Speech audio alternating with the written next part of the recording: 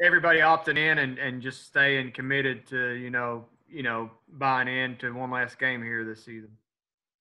Yeah, absolutely. Uh, like a you know bunch of football players, and when you when you go on this big break, this long break, you you kind of you miss it. You really do, even though it's it's always hard work, and especially this year, it's been a long year. You you go home and you're not playing football, and you start to miss it, and you say, I can't wait to get back. And I think everyone kind of came back from this break ready to ready to go and ready to play in a bowl game and and put a good performance on.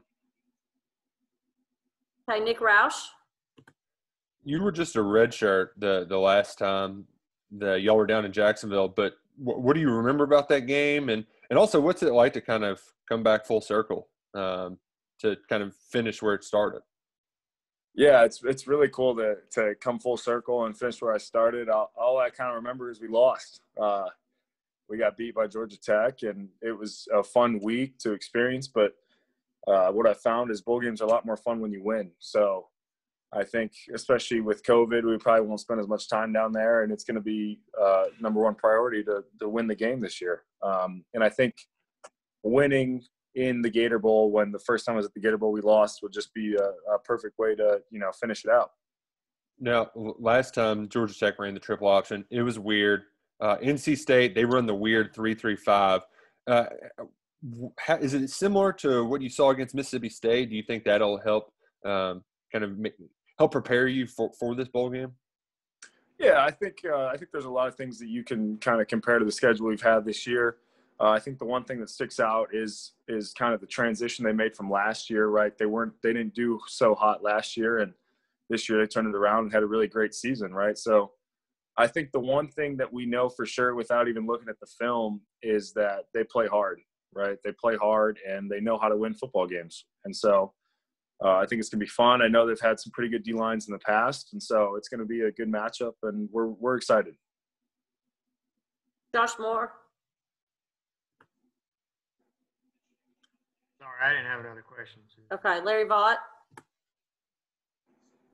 Yeah, look, a little bit question, not exactly on the bowl, but just wondering what your reaction was when your roommate Max was not even named one of the 10 finalists for the Ray Guy Award this year.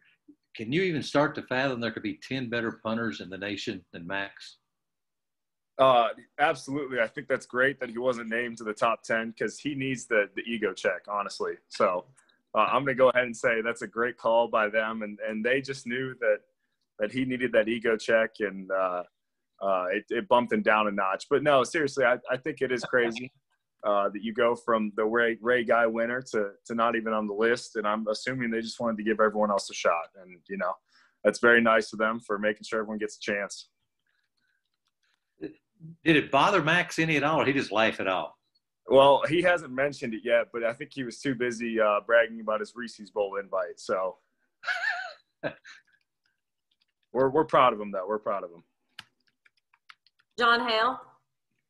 Look, you, you touched on it a little bit there, just with the, the shorter trip and the practices are all condensed. I'm wondering, is is the approach any different this year? How are you all kind of mentally approaching these next couple weeks? Uh, I, I, would say the approach is not too different. I think uh, in the past few years where we've played really well in bowl games. Coach Stoops has done a great job of kind of taking care of us, and and we definitely get our work in. But he he makes sure not to to run us into the ground or anything like that. Just because we've had uh, you know a long season, and the past years we've played 12 games, and this year 10 games. So he knows that. Uh, he knows that we know how to play football, right? You know, he knows that maybe uh, uh, three or four really hard practices in a row aren't going to change the way we play football. So he just knows that as long as we get out there, run around, um, be sharp mentally, that it's going to have a positive result on Saturday. So I think he does a really good job of understanding that, um, you know, no matter who we're playing or where we're going, that as long as we're focused on ourselves and we're mentally sharp and ready to go, that it's going to be a, a good game come game day. Dr. Wall.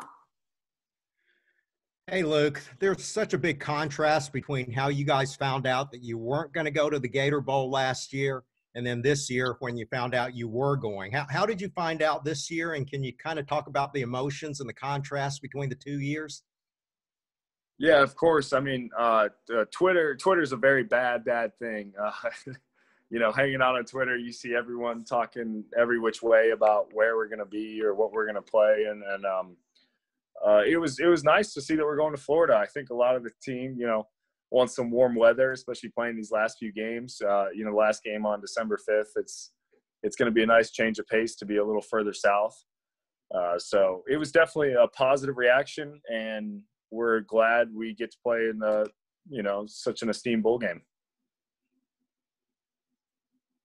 Keith Farmer. Hey, Luke. Um, just wanted to ask you about Coach Stoops. I mean, the, the first coach at UK to take a team not just to five bowl games, but to five straight. What, what does that mean to you, having played for him these years? Uh, it means a lot. He he kind of delivered on his promise to me uh, when when I was being recruited and the other 2016 members that were being recruited. You know, uh, Coach Stoops said, if you guys come here, you're going to change the program, turn it around, and, and we're going to win a lot of games. And so the fact that we showed up, went to a bowl game, and we haven't stopped, uh, it means a lot. It means that uh, he knows what he's doing. It means that everyone has kind of bought in. And it means that this team and, and these teams we've had in the past uh, are learning how to win football games, right? And how to win football games consistently. So I think that's really important. I think it just goes to show how Coach Stoops has really turned it around in, in Lexington and why uh, a lot of guys have really bought in.